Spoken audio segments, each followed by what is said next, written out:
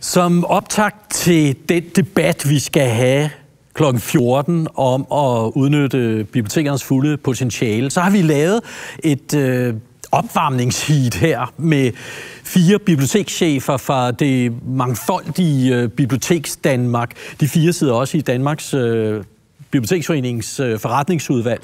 Øh, og de vil spille ud med nogle øh, DB-handlekort, som vi kalder dem, og de skal sådan illustrere, at øh, der er kort fra strategi til handling hos os. Øh, og de skal også understøtte den debat, som vi skal i gang med ude i kommunerne øh, omkring det her med at udnytte potentialerne øh, for, for bibliotekerne.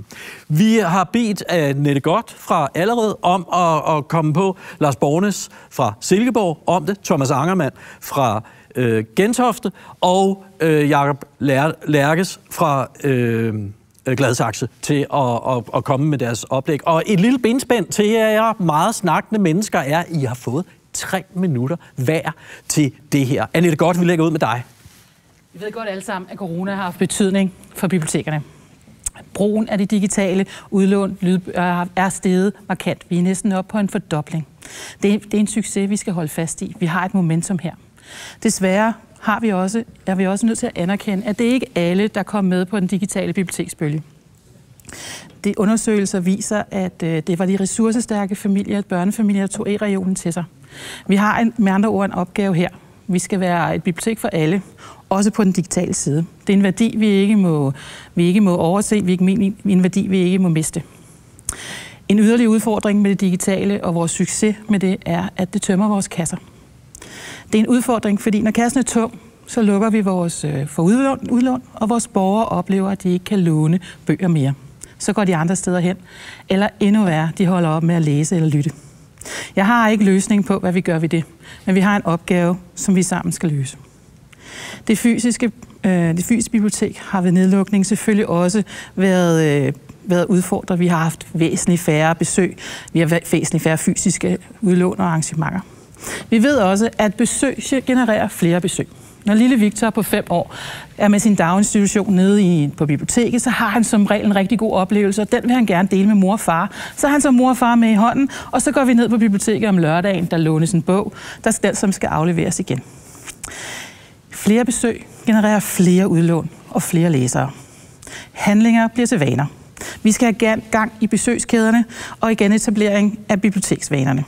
Vi skal derfor allerede nu diskutere og have sættet fokus på, hvordan vi gør biblioteksbesøg til noget helt særligt for både børn og voksne.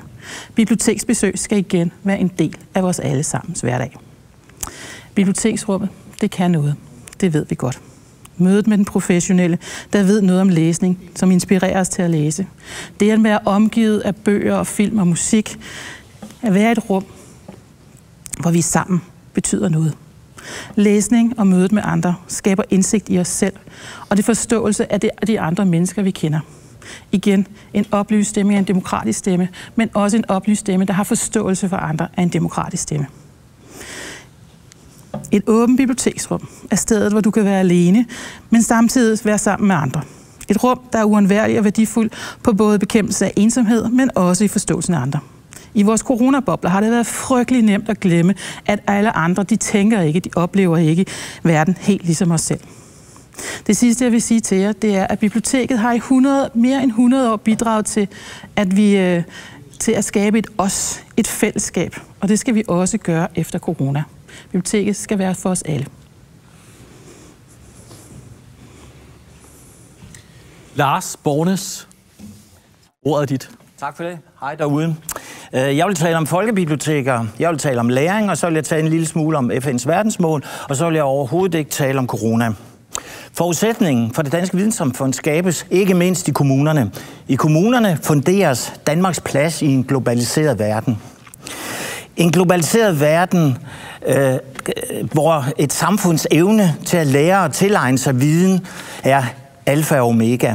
Bibliotekernes bidrag til læringsvinklen i en stærk samfundsdagsorden baserer sig på indsigt og udsyn, dannelse og læring. Vi er, som Vincent sagde først på dagen, kommunens offentlige rum for fællesviden. Dem er der ikke mange af, udover os. Det kommunale læringsunivers er det første, som borgere træder ind i. Og på den kommunale øh, arena er folkebibliotekerne allerede nu en stærk aktør og læringspartner. Og sådan skal det blive ved. Men før vores træer vokser ind i himlen, er der lige et par forudsætninger, som skal bringes i orden. De lokale læringssamarbejder bør, bør være konkret funderet i formelle aftaler imellem de enkelte uddannelsesinstitutioner og kommunens folkebibliotek.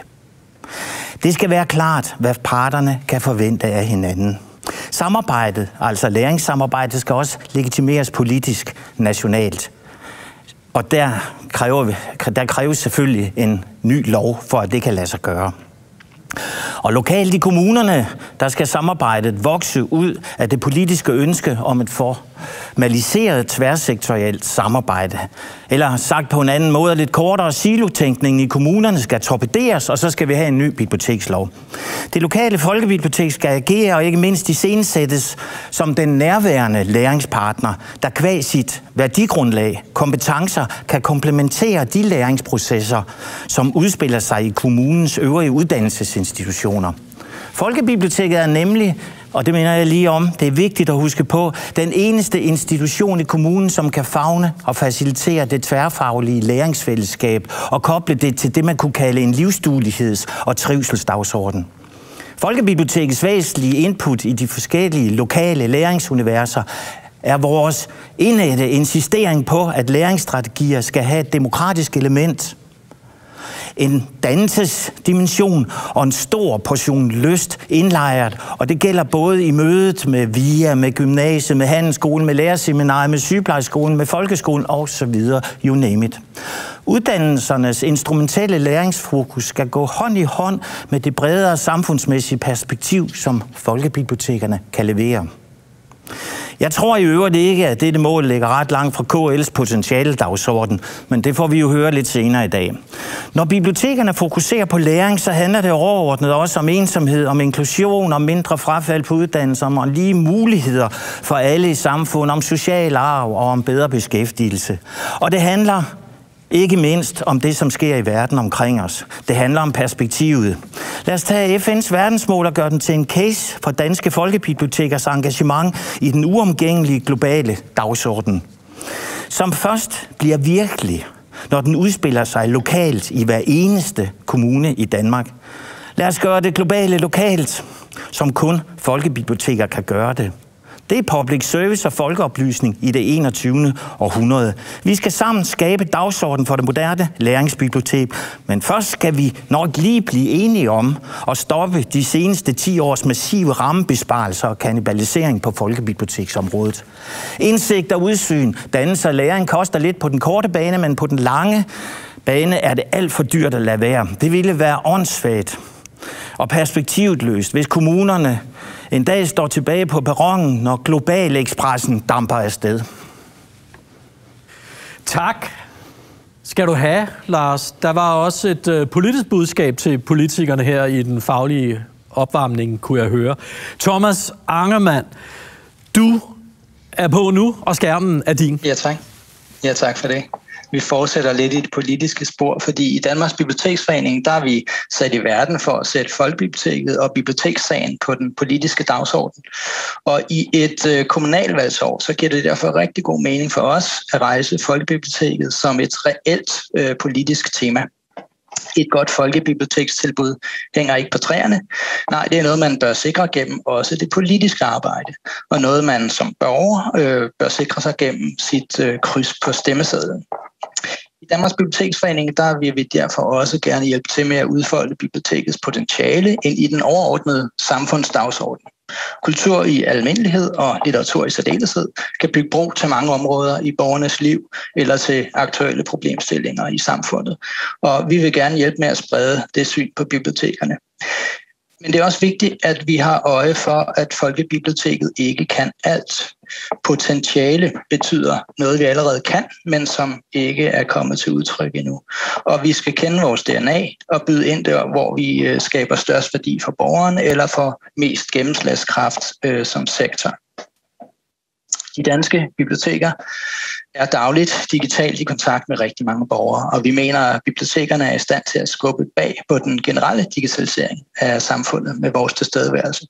Vi skal i DB understøtte, at bibliotekerne til stadighed kan være en attraktiv øh, spydspids i øh, den digitale omstilling. Og så er der biblioteksloven, ja, øh, som har øh, mange år på banen, og som jævnligt popper op som en lov, der kunne revideres. Senest så fik vi øh, loven til et service-check, som det hed hos Mette Bock, øh, med den konklusion, at loven var tilstrækkelig øh, for nu. Der er i DB et flertal for, at loven skal fornyes, øh, så den afspejler det samfundsansvar, som biblioteket allerede har og tager, og gør det lettere at udfolde bibliotekernes potentiale i øh, kommunerne. Og så det næste slide.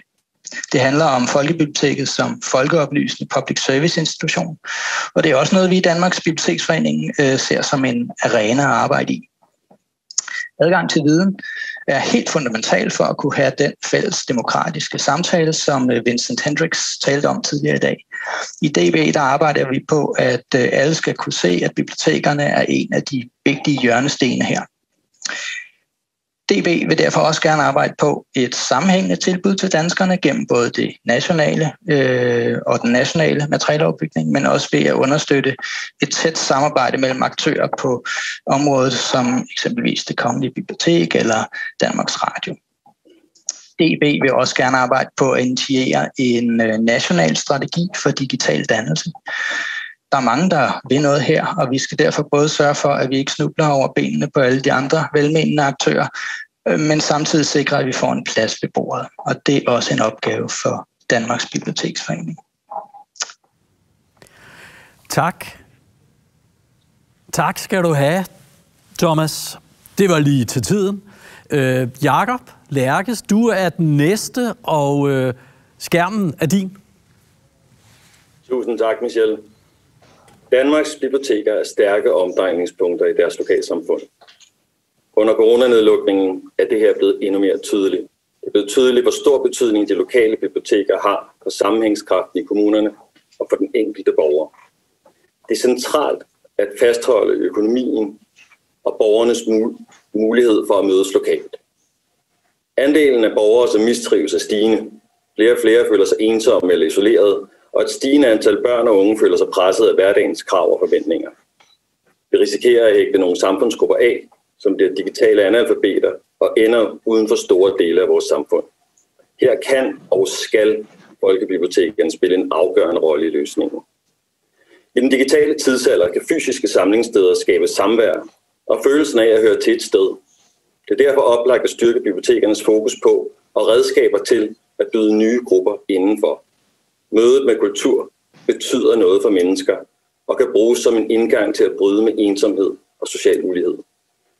At indgå i samarbejde på tværs af sektorer og myndigheder er oplagt for landets biblioteker i forhold til at bryde den sociale arv og ulighed i lokalsamfundene.